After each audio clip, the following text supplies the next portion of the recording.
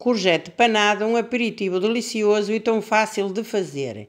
Começo por cortar um courgette lavado e seco a rodelas e tempero com um pouco de sal. Reservo e começo por preparar a tempura, colocando 250 ml de água, 200 gramas de farinha com fermento, uma colher de sopa de azeite virgem extra, uma colher de sopa de vinagre e um pouco de sal. Mexo tudo bem mexido até ficar com esta consistência. Começo por colocar as fatias dentro da tempura e passá-las bem passadas. Com uma frigideira ao lume, o óleo bem quente, começamos por fritar, dando a volta e fritando dos dois lados até ficar douradinhas. É um processo rápido e tão fácil de fazer. Retiro e coloco numa travessa com uma folha de papel absorvente. Ora vejam como num instante preparamos esta entrada. Ficam deliciosas e estaladiças. Vale a pena fazerem. Para colocarem numa mesa fica sempre bem.